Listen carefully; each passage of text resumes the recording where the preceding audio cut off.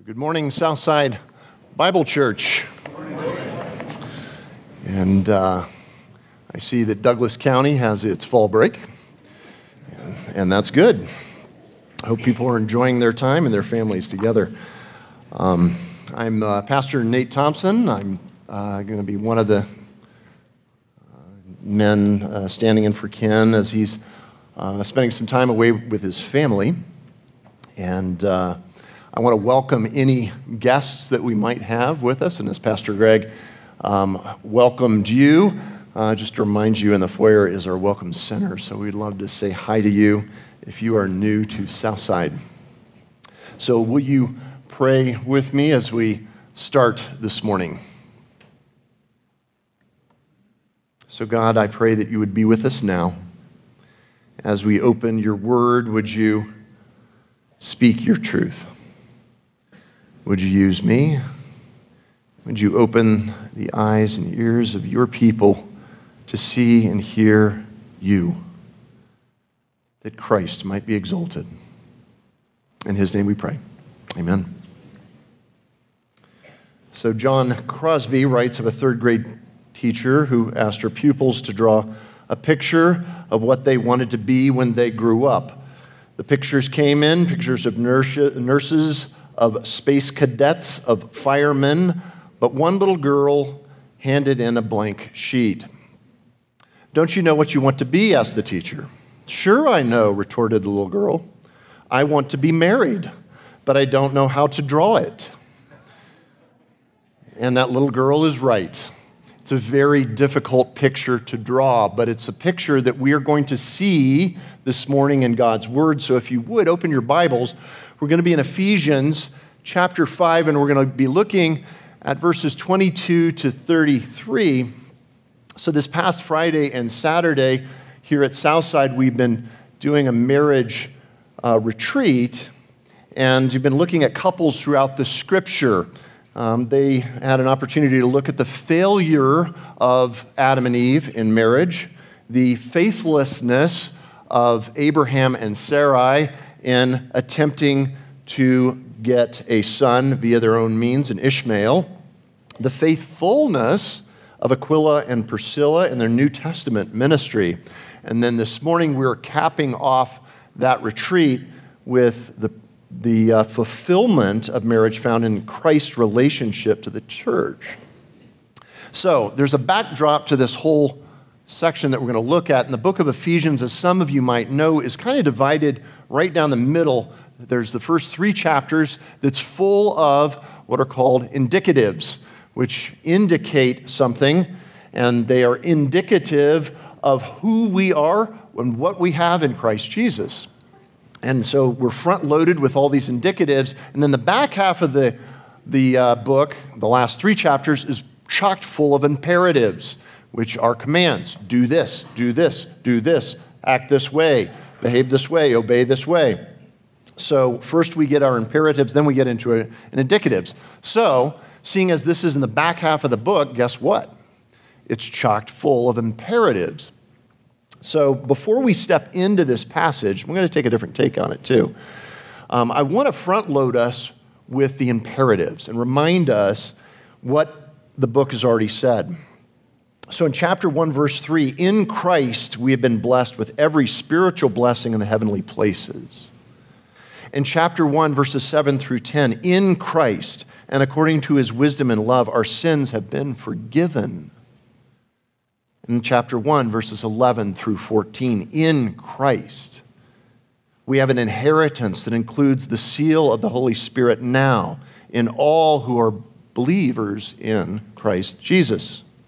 In chapter 2, verses 1 through 10, in Christ, though we did not deserve his mercy, God showed his mercy to us by bringing us from death to life and seating us with himself in the heavenly places chapter 2, verses 11 through 22. In Christ, we have been brought near when we were outsiders and brought about a lasting peace in Himself. Chapter 3, verses 12 through 13. In Christ, we have been granted access to God and can approach Him as, as we go through our various trials. Chapter 3, verses 14 through 19, in Christ, we can now know the love of God that is in himself.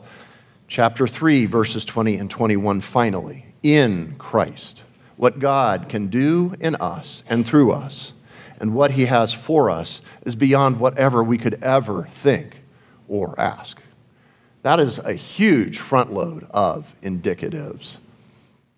And then in chapter 4, uh, verse 1, we step into it, therefore, that front loads all of those verses. So we find ourselves in chapter 5, verses 22 to 33. And here's the thing I know a lot of you have heard this section of Scripture before. Um, you might be single, you might be a youth, you might be in a difficult marriage, you might just be down on yourself, and the last thing you want to hear is to, for me to tell you, to a, to a woman, how terrible a wife you're being, or for you as a guy, how terrible a husband you're being. So I get it. So we're going to do something different with the passage because the focal point that we're going to make is not so much about husbands and wives, but about the husband and the wife that this whole passage is about. And what I found was that most commentators kind of ran out of gas by the time they hit 532.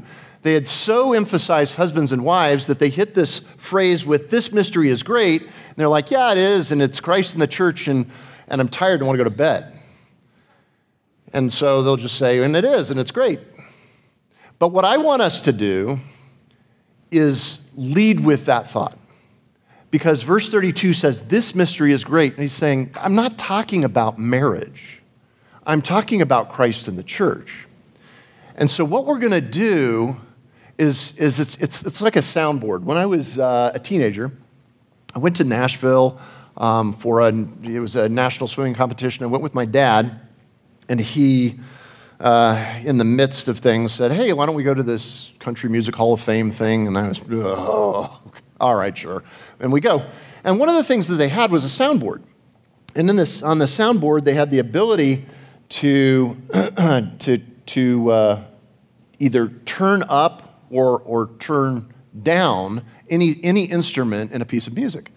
and one of the things that they did was they said, I want you to take one dial at a time and turn it up. And I want you to see if you can figure out what song this is. And my dad was the one that was bold enough to go up, and he would turn one up, and you'd hear like a guitar.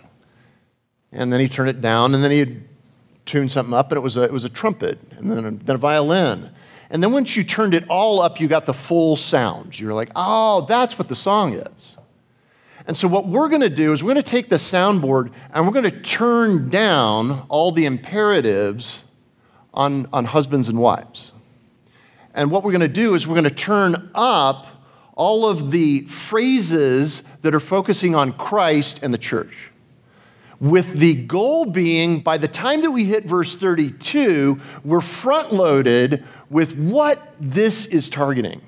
So that we don't just, oh man, he has so weighted us down with what we should be doing as husbands and wives that we're going to just kind of bypass verse 32. And I kind of want to focus on verse 32.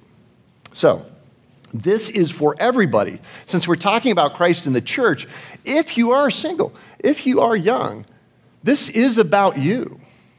This is about you if you are in Christ. So, let's go ahead and read our passage. And what I want you to do is tune your ears to listen for Christ and the church. Okay? Let's open it up with verse 22. Wives, be subject to your own husbands as to the Lord. For the husband is the head of the wife, as Christ also is the head of the church, he himself being the Savior of the body. But as the church is subject to Christ, so also the wives ought to be to their own husbands in everything. Husbands, love your wives just as Christ also loved the church and gave himself up for her, so that he might sanctify her, having cleansed her by the washing of water with the word, that he might present to himself the church in all her glory, having no spot or wrinkle or any such thing, but that she should, uh, that she would be holy and blameless. So husbands ought also to love their own wives as their own bodies.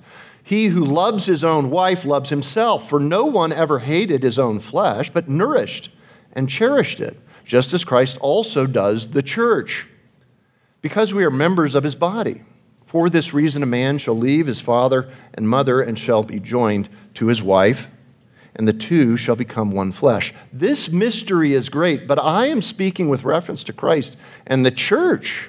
Nevertheless, each individual among you also is to love his own wife, even as himself, and the wife must see to it that she respects her husband. So here's the outline that we're going to bring to this text. First point that we're going to make is Christ as the monarch of marriage. Okay, Christ as the monarch of marriage. Second, Christ as the motivation of marriage. Third, Christ as the means of marriage. And fourth, Christ as the meaning of marriage. So once, we're, once we close that up, we will make application. So just as we are tuning down these imperatives, we're going to tune them back up at the end, but we're going to have a lot of reason for tuning them up. So I get it. Some of you might be thinking this isn't the outline in my MacArthur study Bible. That's all right, let me assure you. I am an expert at not being John MacArthur. and what qualifies me is that I am, in fact, not John MacArthur. But let me remind you, you are not Grace Community Church. so we're even there. So we can each be disappointed, or we can each learn. And so let's hope we grow together in this. So uh, now that we have that out of the way, let's go ahead and focus on our first point Christ as the monarch of marriage. Christ is the monarch of marriage. So I, I, I hope you saw it in verse 20, 22, very end there. It says, Wives, be subject to your own husbands as to the Lord. As to the Lord. The word is kurios. He doesn't use the word uh, theos, uh, God. He doesn't say as to God, but as to the Lord. And this uh, has, has meaning to it, right? Uh, the word uh, kurios means he to whom a person or thing belongs about which he has power of deciding, i.e., a master. So that means that this submission should reflect a submission that is the ultimate submission to Christ our Lord. He, he controls, He makes the decisions. And the second phrase that I want us to dial in on is, is in the next chapter, uh, in, in the next verse, second part of it. For the husband is the head of the wife, and then here it is, as Christ also is the head of the church. Think about this physiologically. The head, if, if there is no functioning head, how well does the body work? Not at all, right? If a person is brain dead, they are non functional. They could have a very athletic, very healthy body, but without a head, it is useless. It's useless. And that's the way that the church is. And, and we're talking about the head of the church. We're not talking about the church leaders. We're not talking about the elders and the deacons. They're merely under shepherds and parts of the body. Did you hear me? They are a part of the body. Who's the head? Christ is the head. Christ is the head. Acts 4:11 uses this word for head. It's used in a different wording or a different interpretation than NASB, it's, uh, it's interpreted as chief here in this verse. It says, He, Christ, is the stone which was rejected by you, the Jews, the builders, but which became the chief, there it is, cornerstone. The chief cornerstone, the head. He's the head. So, in like manner, we, you could have a young lady who's actually single that can claim that she's married. She can put a ring on, on her finger. She can uh, speak of her spouse in an endearing way. She can de- define, uh, she can make definite claims about her one true love. She can say all of these things, But in fact, she isn't married. What would make her married? Well, if she had a husband, right? The same goes for any modern day church. They can make all claims that they want, but without Christ, there's no marriage. And they're not really a bride, they're not really a church. They need Christ. He's the head. Christ is the monarch of marriage. Now, you might not like that word, but it's an M, and I needed it to blend in with my other M's. So it is what it is. So he is the monarch, he is the head, he is the Lord of marriage, and ultimately, the marriage. So let me move us on to our next point Christ as the motivation of marriage, right? We're going to look at the second half of verse, or the back half of verse 23, all the way through verse 25. Verse 23 He himself being the Savior of the body, let's lock in on that. But as the church is subject to Christ, so also wives ought to be subject to their husbands in everything. Husbands, love your wives just as Christ also loved the church and gave himself up for her. So I want us to see three things Christ as the Savior, Christ as the lover, and Christ as the sacrificer. Okay? I want us to see those three things. So, first, Christ is the Savior of the church. You want to talk about ultimate motivation. This is it Titus 3 3 through 7. For we also once were foolish ourselves disobedient, deceived, enslaved to various lusts and pleasures, spending our life in malice and envy, hateful and hating one another. But when the kindness of God, our Savior, and his love for mankind appeared, he saved us, not on the basis of deeds which we have done in righteousness, but according to his mercy. By the washing of regeneration and the renewing by the Holy Spirit, whom He poured out upon us richly through Jesus Christ, our Savior, so that being justified by His grace, we would be made heirs according to the hope of eternal life. I could probably just stop right there, and that would be enough. Christ is our Savior. The motivation for the ultimate marriage, His bride being us, His church. He saved us. And boy, did we need saving, as you heard the front part of that verse. We needed saving. And He saved us. And He went further than just getting rid of or dealing with our sin. He cleansed us. He regenerated us. He renewed us. He gave us of His Holy Spirit. What a Savior. Hallelujah. Second, as if that wasn't enough, He loved us. And I want you to see something. Um, it's, it's all too easy to draw an equal sign between love and sacrifice. It's an easy thing for us to do because the passage just kind of flows. And when we're, particularly when we're talking about the imperatives for husbands, makes it a little easier for us if we just say love equals sacrifice, and we can build into what sacrifice is and walk off. Well, no, it says love and sacrifice. So I want us to see that it's a both and not an either or, or not saying the same thing twice. He's not saying sacrifice and sacrifice. He's saying love and sacrifice.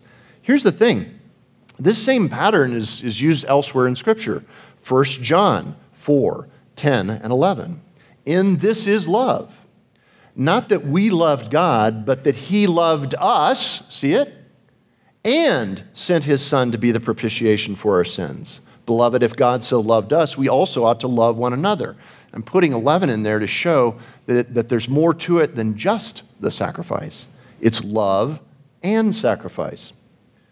And uh, Galatians 2:20, those of you who are familiar with that passage, I have been crucified with Christ. It is no longer I who live, but Christ lives in me. And the life that I now live in the flesh, I live by faith in the Son of God who, here it is, loved me and gave himself up for me. You see? Same thing love and sacrifice. So it's not to say sacrifice doesn't matter, it does, because it's right there and it's huge. But it's also love. And we could go on for days talking about the love of God. And, and I won't do that to you. I, I know you've got things to do.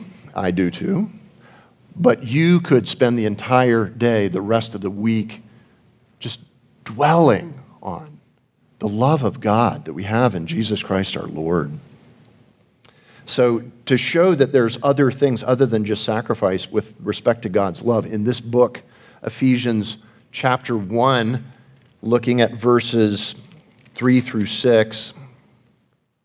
Blessed be the God and Father of our Lord Jesus Christ, who has blessed us with every spiritual blessing in the heavenly places in Christ, just as he chose us in him before the foundation of the world, that we would be holy and blameless before him.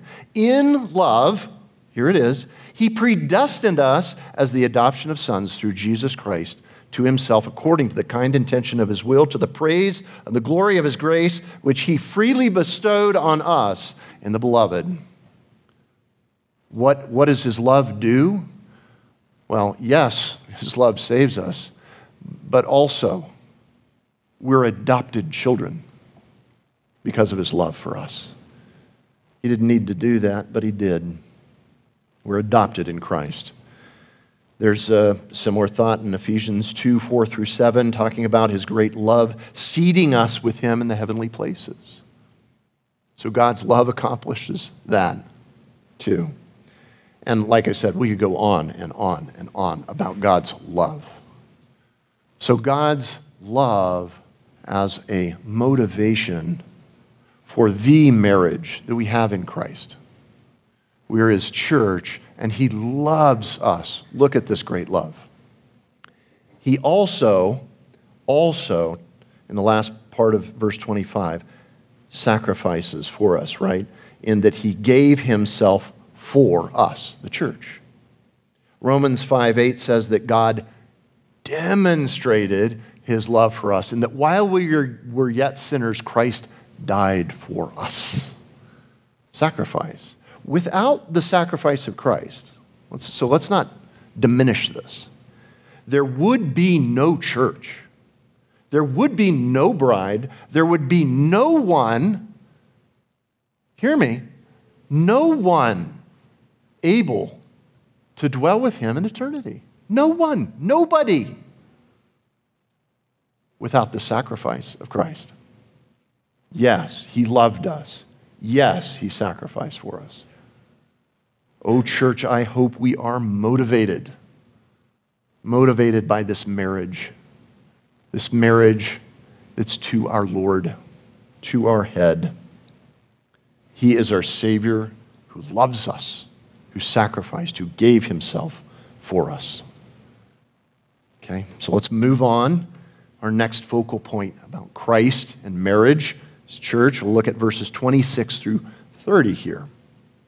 And this is Christ, uh, Christ as the means of marriage, as the means of marriage.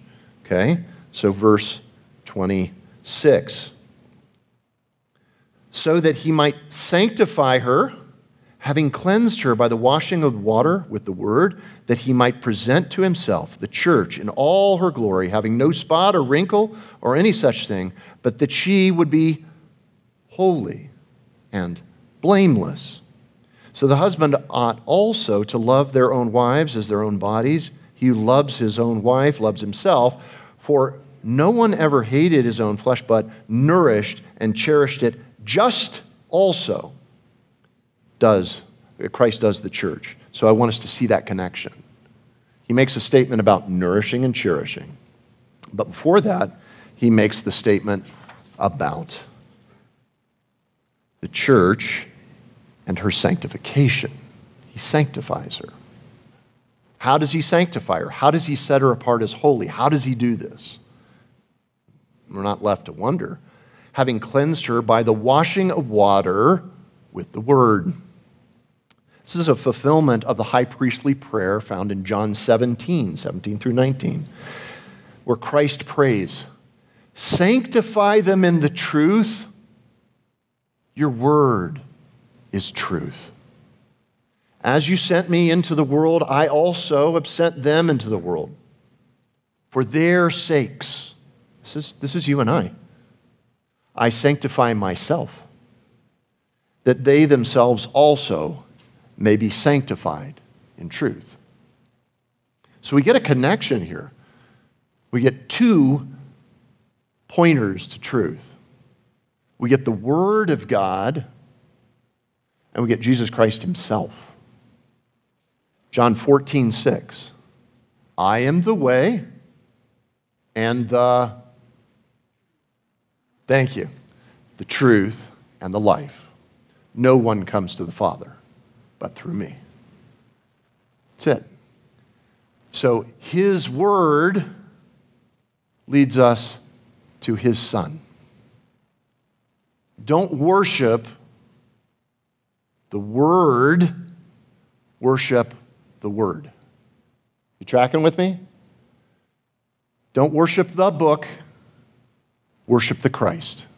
Because the book points to the Christ, points to Jesus we are thankful for this book because it describes to us who God is, so that when He came, took on flesh, the people that knew Him knew Him. And as Hebrews tells us, He is the exact representation of His nature. Jesus Christ is God. To His praise and glory. Thank you, Jesus. He is the means. He is the means. His truth. And Jesus Christ Himself. He is the means. He also, to us, the church, He nourishes and He cherishes us. So Matthew 6:26, which is, which is a, uses a Greek word that's derivative to the one that's used here in our passage for nourishes, makes it clear that what nourish means is to feed, and to feed what is needed. Right? I, I can feed you and I can fill your belly full of Pringles potato chips, and you will not be nourished, but you will be full. Christ nourishes us, meaning he fills us with the very thing that we need, which is more of him, more of his word, more of his truth. When Christ was tempted in the wilderness, he told Satan in Matthew 4 4 that man does not live by bread alone. But how? By every word that proceeds from the mouth of God. He loves his church. He nourishes his church.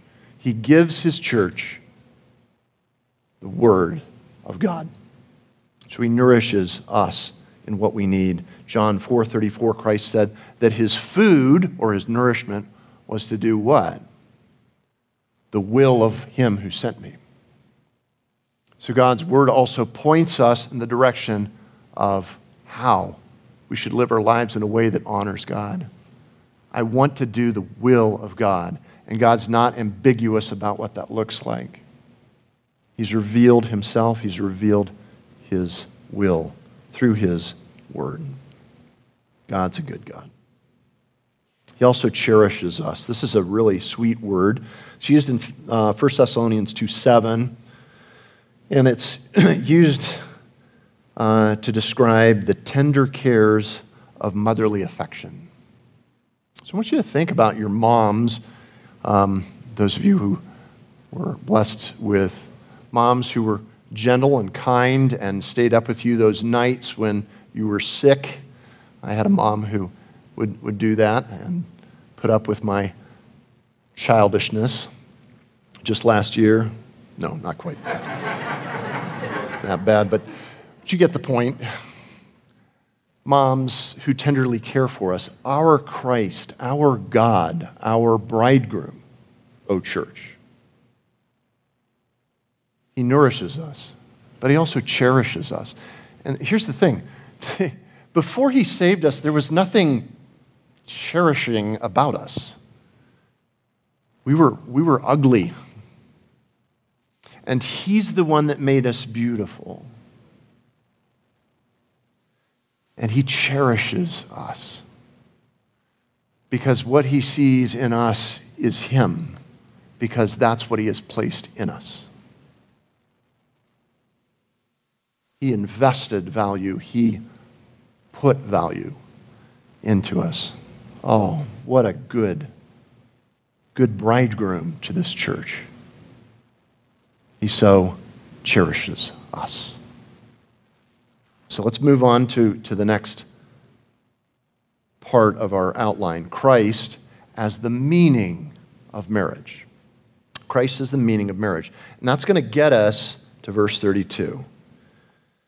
So let's look at these last few verses. Verse 31 says, For this reason, a man shall leave his father and mother and shall be joined to his wife and the two shall become one flesh. Then he says, This mystery is great, but I'm speaking with reference to Christ and the church. So he gave us an Old Testament quote, and then he says, Mystery. And before the person can say, What's so mysterious about marriage?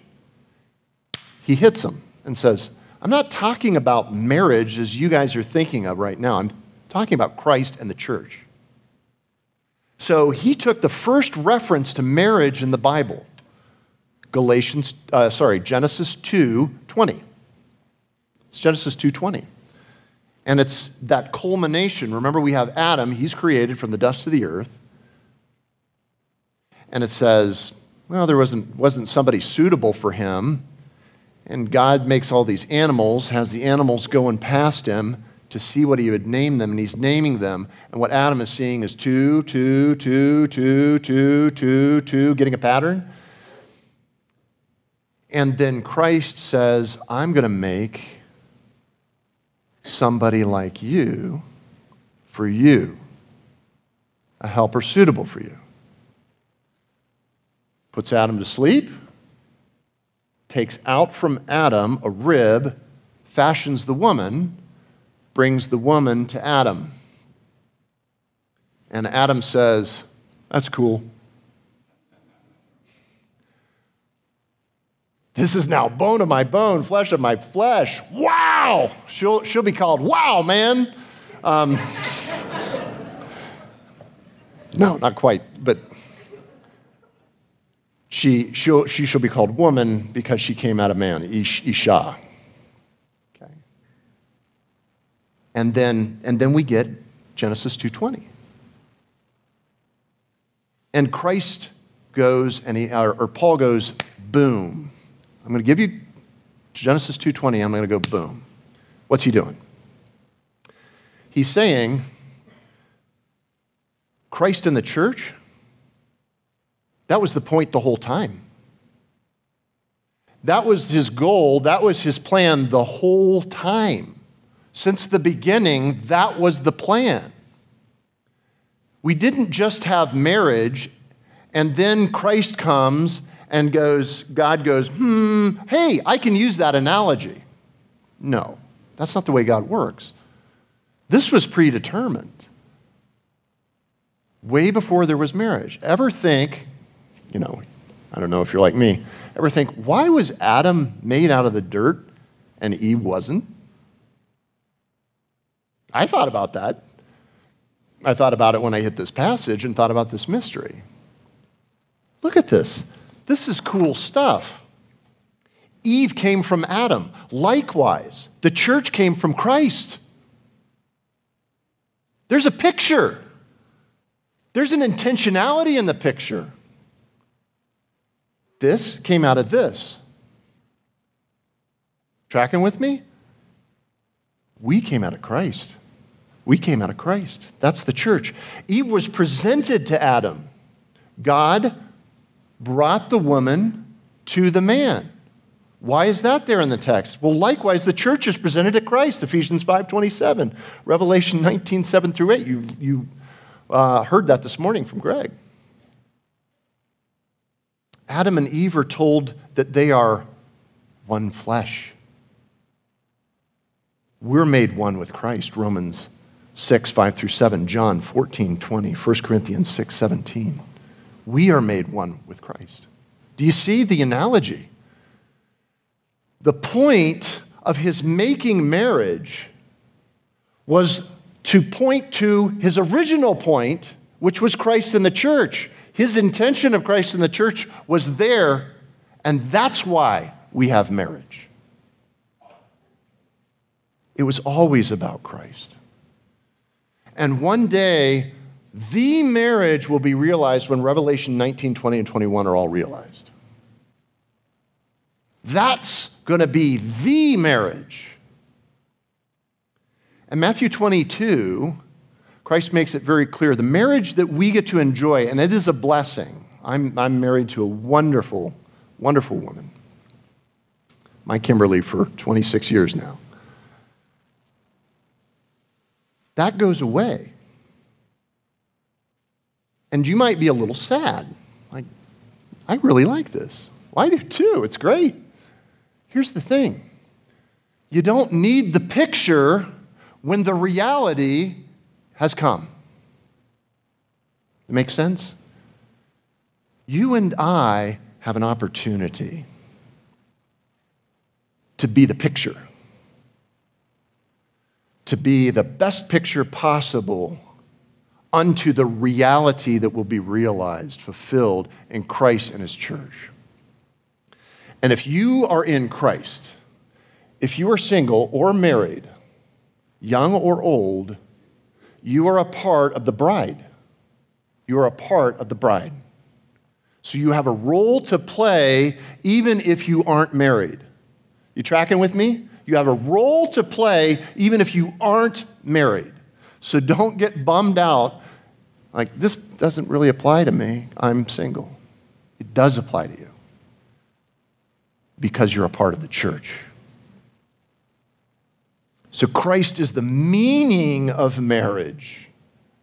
If you are married, the real meaning behind your marriage is Christ and the church.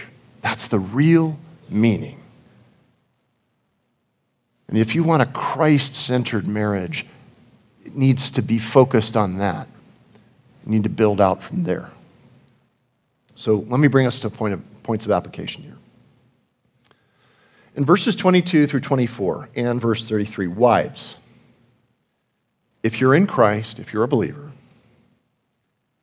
out of these roles in the picture of marriage are you are told to submit and to respect your husbands.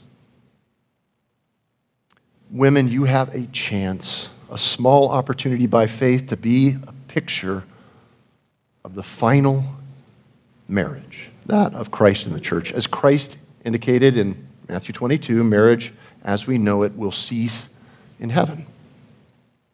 This is because the reality of the picture has been revealed. So I'm going to beg you submit and respect your husbands, no matter how unworthy they might be. And this is not because we preach some demented, hyper masculine system of oppression but because we preach Christ and Him crucified. Is He not worthy of your picture? Now is your brief chance in this short life to be the picture of the redeemed church. Will you take up this challenge? Verses 25 through 29 and verse 33 husbands. If you're in Christ, out of these roles in the picture of marriage, you were told to love and to sacrifice and to nourish and to cherish your wives. Men, you have a chance you a small opportunity by faith to be the picture of the real picture of marriage, that of Christ and the church. Don't cop out. Don't claim it's impossible and then walk off the stage. Men, if you're in Christ, He has made you a new creation, 2 Corinthians 5 16 through 21. And the Spirit of God is resident in you, Romans 8 9 through 11. And women, you are too. Yes, you can do this because of Christ in you. You can reflect this love because of the Christ who redeemed you. So, your sacrificing of your free time at your job does not complete the picture of love. So don't just get wired in on sacrifice and I sacrifice. You need to love her, you need to nourish her, and you need to cherish her. Men, I beg you to love your wives as Christ loved the church, no matter how unlovely she might be. Not because we preach false humility and not because we preach cowardice, but because we preach Christ and Him crucified. Is He not worthy of your picture? Now is your brief chance in this short life to be the picture of our loving Lord and Savior. Will you take up the challenge? Singles. You are mentioned all throughout verses 22 to 33. If you're in Christ, you are members of the body of Christ, you have a chance to help promote the picture of the final marriage, that of Christ and the church. You are members of the body of Christ. And you have an obligation to help those who are married to promote this picture. Will you encourage them to stay in their marriages? Will you encourage them when the things are hard and they're hard pressed? Will you encourage them to display this picture of the gospel? Now is your chance to promote this picture of a lovely bride in the church. Will you encourage them to love their husband, the Lord Jesus Christ? And will you love your husband, the Lord Jesus Christ? Will you take up this challenge? Church, this is all of you. This is all of us. We have a brief opportunity to clothe ourselves in good works. Revelation 19:8. Remember hearing it this morning. Was read. The bride, the church, that's all of us, is clothed in fine linen ready to be presented to the bridegroom. Jesus Christ, do you recall those fine garments? What are they made of? They are the righteous acts of the saints. So let's not forget Ephesians 2:10. We are created in Christ Jesus for good works which God prepared beforehand so that we would walk in them our sovereign God who knows the ins and outs, the joys and the trials of our lives, has called us into these good works. Church, let us clothe ourselves in a manner worthy of our bridegroom, Jesus Christ. All of us are called to this. Do you want to clothe the bride? Is your heart beat to clothe her well? The wedding day is coming. Let us, with one heart, one voice, desire to clothe her well because our bridegroom is glorious and beautiful and worthy. Is he not? Is he not? Will you take up this challenge? So I'll close with this. In 1979, Eric Fellman speaks of meeting a Chinese couple in Hong Kong while traveling to China. he says, A friend took me down a narrow alley to a second floor flat to meet a man recently released from prison in China.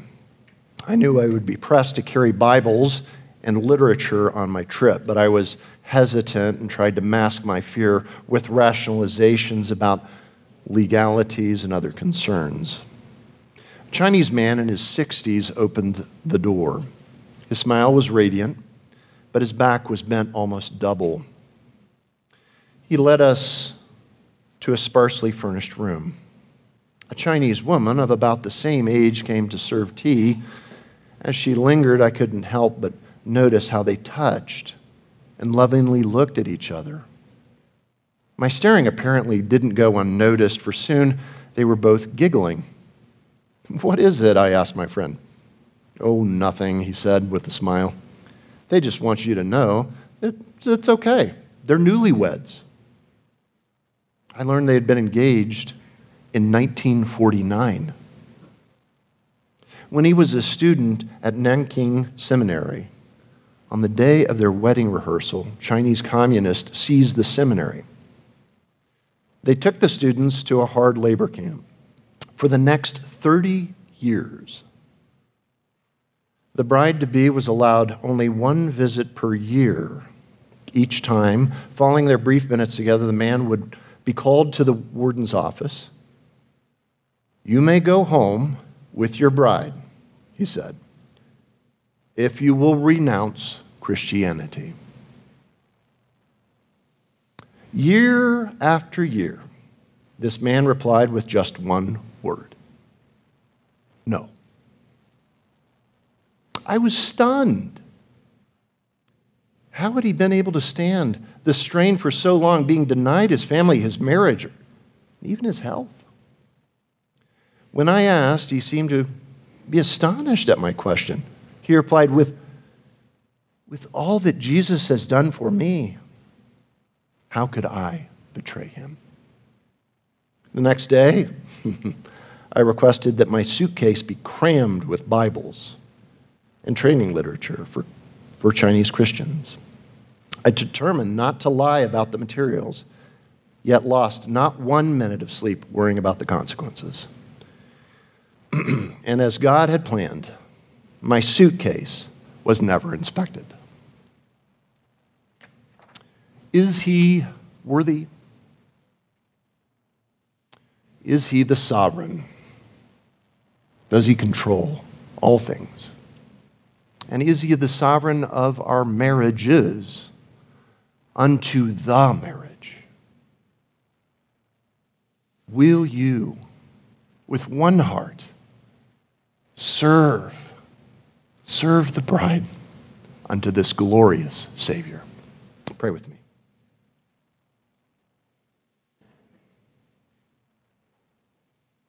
Oh, what a beautiful picture, Lord Jesus.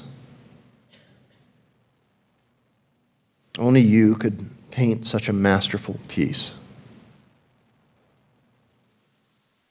Marriage is good because you have made it good. And Lord, I pray that we make your marriage a beautiful one. May we honor you with our lives, our words, our thoughts, our deeds. May we be a people about you.